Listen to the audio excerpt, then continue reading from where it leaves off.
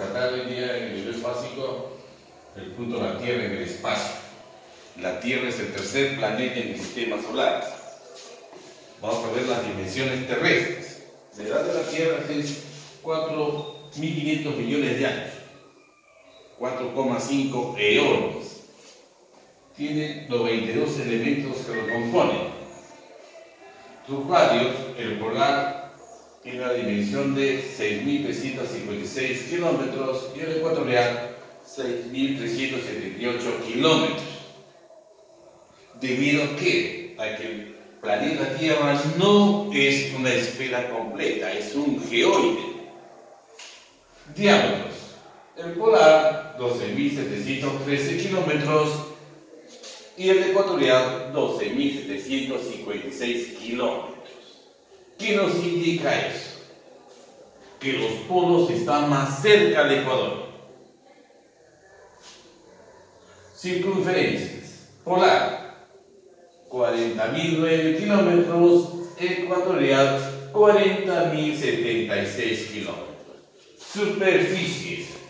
Continental, 149 millones de kilómetros cuadrados, que representa el 29% de la superficie terrestre.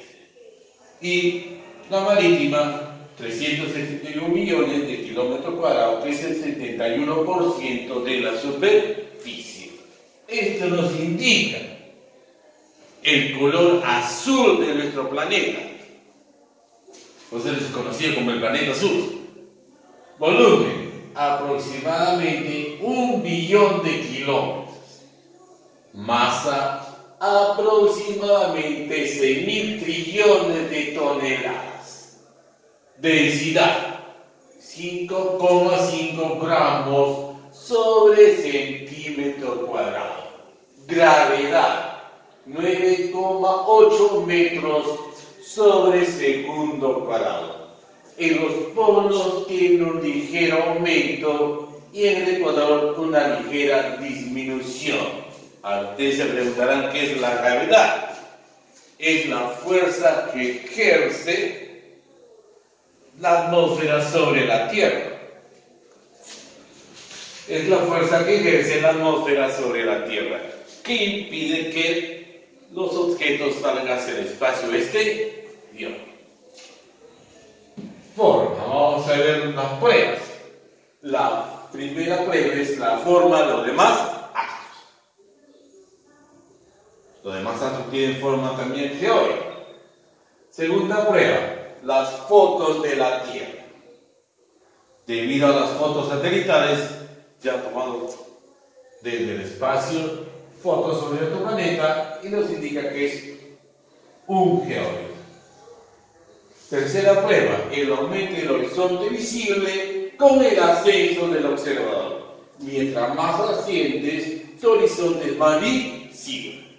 Ejemplo, son usted alumno al Cerro San Cristóbal y va a observar todo Lima. De ahí bajas a la Plaza de Hacho y vas a ver solamente los alrededores de la plaza de Hacho. Cuatro, el no poder ver una estrella de diferentes puntos de la superficie. Ejemplo, en el hemisferio sur no podemos ver la estrella polar que está en el hemisferio norte. Solamente podemos ver la constelación de la Cruz del Sur.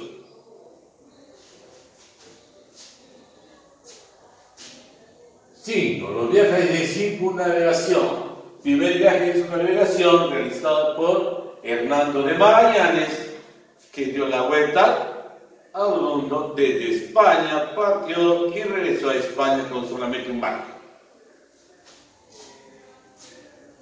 Sexta prueba, la sombra proyectada durante los eclipses lunares. Séptima prueba, la forma como aparecen y desaparecen los barcos en el horizonte. Desde aquí en el gráfico, observas el barco, pero el horizonte ya no lo observa.